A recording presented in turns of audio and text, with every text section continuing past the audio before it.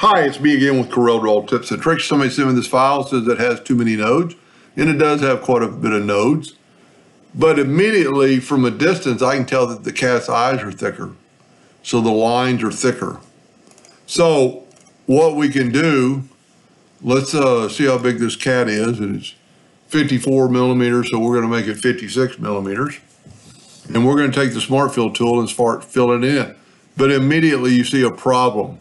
So let's look at this thing under wireframe. Go to view wireframe and you can see that there's another part of a cat there, uh, almost invisible. So let's select on the cat and just nudge it over, all the parts we need.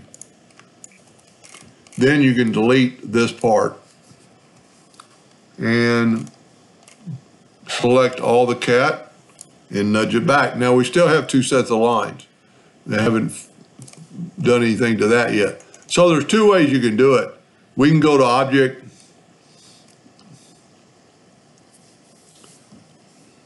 Well, let me just pick one object. Break curve apart. Then we can grab maybe the inside and hit delete. It just all depends on if you want a bigger or a smaller eye. Um, I find it easier. Of course, you're going to get everything in small now um, to use the Smart Fill tool. Okay, whenever you have that happen, Smart Fill doesn't work, it's because it's in wireframe. So let's fill that in with blue, that in with blue, and basically we got the cat.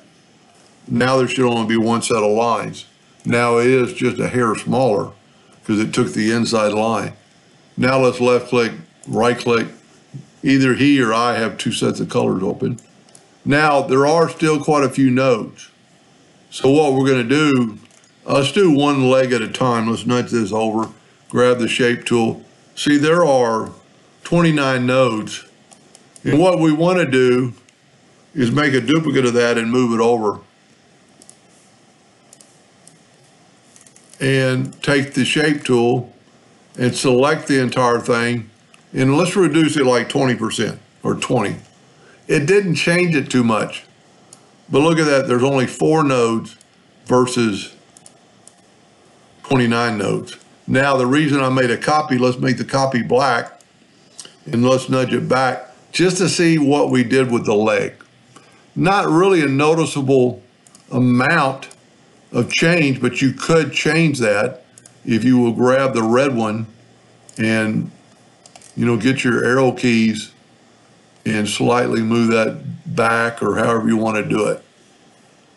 Now we move that back. Let's take this leg. And the reason I nudge it out of the way is just so I won't, uh, I prefer it this way to uh, just have it out of the way. So this one's only, this one's got 25 nodes. Let's set it on 20. That's not a, I don't know if that's a percentage or not. We haven't really changed the cat too much. Now the eyes might be a little bit different. Let's see if we can't grab just the eyes. Go 20%. And look real close when you hit enter. Now, it changed it up a little bit. You know, maybe it's too much. So on the eyes, whoop, you could do it manually because you kind of want that sharp uh, turn there. So like you could go here and take, delete those nodes. Add a node right there if you want that sharpness. Take these two nodes and delete them. Take that node and delete them. Maybe even that node. Then you could stretch that down. Now what I have found, the eyes are basically identical. So I would uh, prefer having, you know, maybe uh, identical instead of doing all this work twice. Just take, you know, take this eye I'm gonna have to grab it with a shape tool. Well, made the whole thing blue. I'm trying just to get rid of that eyeball. Okay, I can't select it all, so I'm gonna have to go to Object, break the curve apart. Now I can select just the eye.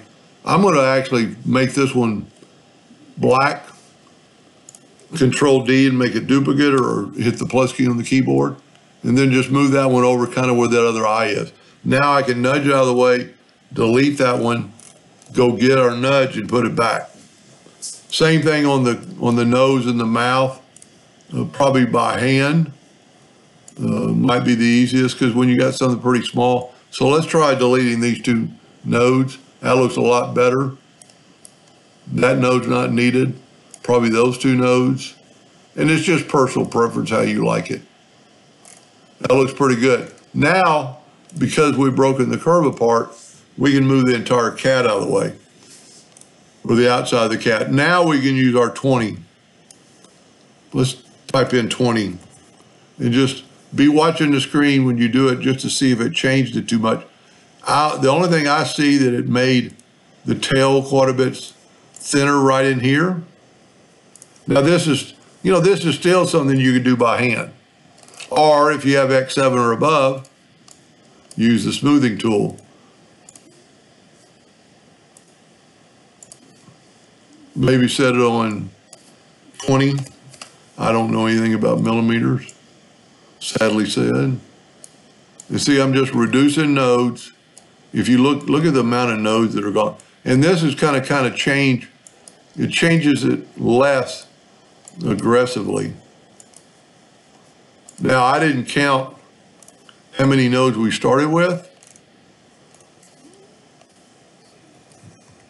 But look at that. Now let's take this cat, left click, right click. See, there's that hidden hidden uh, part and there's such a little line. Uh, let's grab all this with the shape tool. So select it all with the pick tool, then hit your shape tool. There are 374 nodes. Part of that is that missing object. So to find out how many nodes, you select all of them with the pick tool. Six objects selected, we actually have to probably, uh, can't get a total. Tell you what we can do though. We can select it all, go up to object and group them together. Now grab the shape tool, pick it first. Well, shape tool is not going to work when it's grouped together, but there's a lot less nodes. And then he's doing the right thing. You know, he typed out the uh, text, and if he wants it black like in the original, just make it black. I always, I always take away the outline unless you want a little bit thicker. You know, black, take away the outline. That's personal preference. Then if you want, I'm pretty sure you're going to want the cat black. So just change it to black. Whoop. I got a green in there somehow. Pretty cool. And unless he's going to cut it out, uh, the nodes aren't really going to be a problem. Anyway, I hope that helped him a little bit. Thank you for watching.